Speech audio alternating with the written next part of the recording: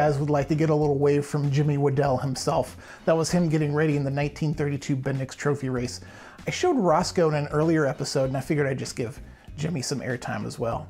In this episode, we're going to mount the electric motor and the cowl, and we're going to paint and mount the dummy radial engine, and then show you what that all looks like when put together. Before we get started, we're going to go back to the Crawford Auto and Aviation Museum in Cleveland, Ohio, and show you some real footage of the real NR61Y, and then we'll head over to the bench and get to work.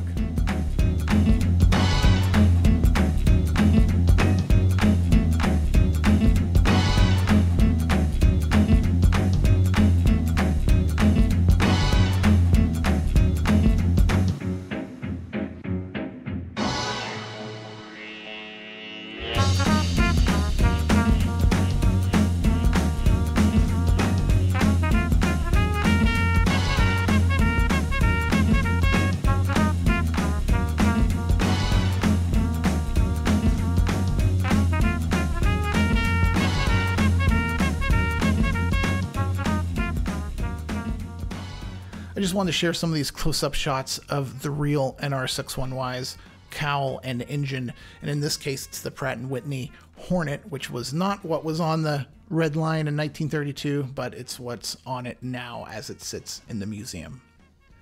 So let's go ahead and get started with mounting the electric motor.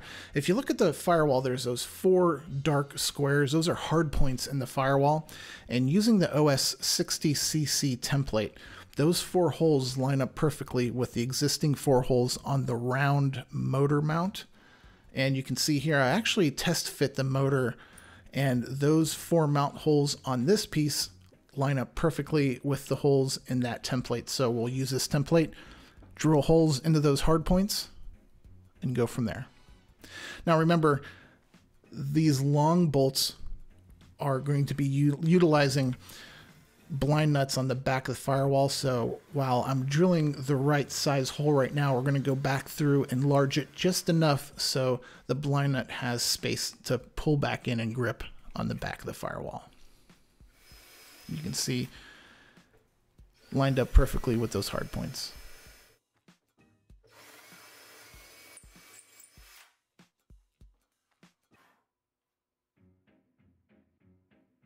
So this is how I'm going to seat those blind nuts. I'm going to actually take the the bolts that we're using, the long bolts, and make sure I'm using washers and the long standoff. And I'm going to reach back and pull the blind nut through. So I have the blind nut in my right hand, and I'm just going to start setting, tightening it just so it grips that wood, just so it begins to start seating, and then I'll torque it down with a lot of force. I'm just make sure that you're using your washers here because you don't want to damage those hard points. And if you use the exact bolts and the standoffs, then that's just going to help that blind nut sit as straight as possible as it pulls into the back of the firewall.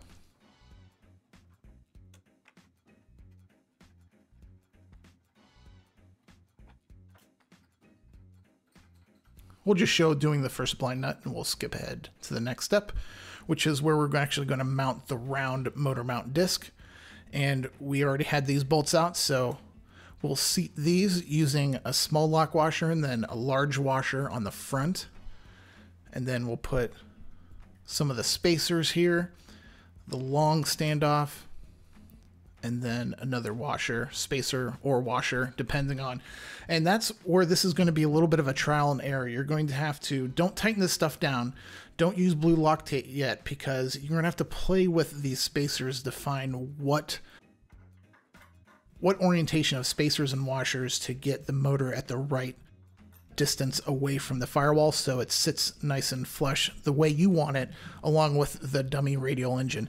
It's it's odd because there's a few variables. You have to mount the cowl itself and you'll have to glue the dummy radial in there so there's a lot of variables and it's really up to you to kind of do some test fitting and find what fits right for you. So again, I will go back through all these bolts and put blue Loctite after I find the right configuration of spacers so I can get the motor sitting exactly where I want it.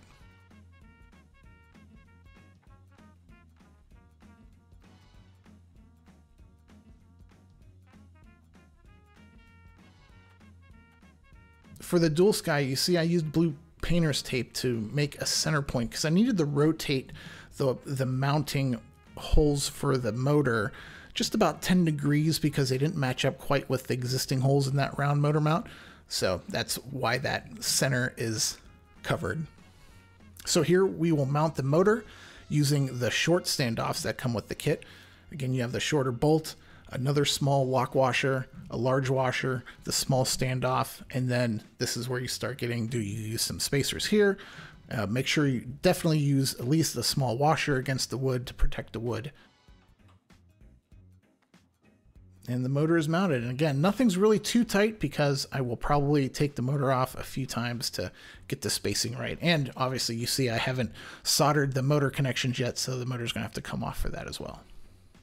So here's a close-up of, I got the prop on, and in fact, I wanted to show you just in my case, I needed to use two extra spacers right in the center of the screen, and I'll zoom in uh, just to get the motor about another quarter inch out uh, it worked well for me.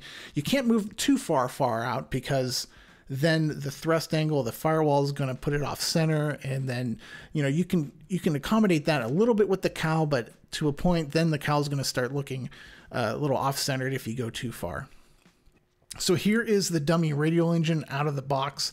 And i wanted to show it before i started cutting it and we'll show you cutting it and painting it actually, but I really like using my old Hobbico hot knife, which is basically a hobby knife and a soldering iron, uh, just to use the tip to go through. And if you use as little bit of the blade as possible, that cuts down on the flashing or the melting of the plastic. So take your time, just use the tip of that knife, and you can see how nice it's cutting through there. And with just using the tip, I'll speed this up you can really go around curves nice and easy. So you'll see me, especially in this shot, you'll see I kind of go around some of the curves really nice and easy with just that tip. Go around and it pops off. So the first step is go through and cut off all these spaces in between the cylinders. Now we'll start with the painting. I used some black, some dark gray. I painted the cylinders a, a, a, light gray and some olive drab on the distro caps. I'm actually putting some wires into the distro cap down to the center ring.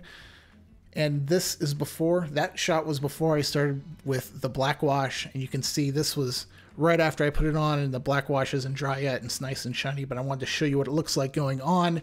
And this next shot will show you after it's fully dried. And in fact, this is the first time I've ever done some detailing like this, so it might look a little elementary, but I'm really happy with how it came out. And now I, as I look at it, I see I probably could have sopped up some of that black wash, especially near the rods, but I'm fine with this.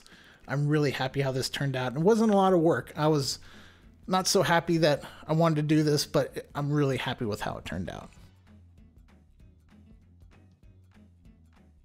Now, as far as the cowl, it's it's a little hard to mount straight on because it tapers back and I wanted to show you how I found to do it.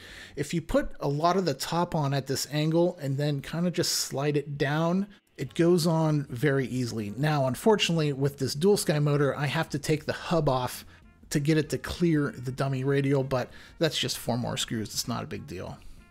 So guys, here's a nice shot of the cowl on the dummy radial painted up, the distro wires, I'm really proud of that. The black wash, it looks nice and dirty. The prop is on there. And now some final moving around just to get it exactly, get the cowl exactly where I want it, and then I'll go ahead and drill into the hard points to secure the cowl.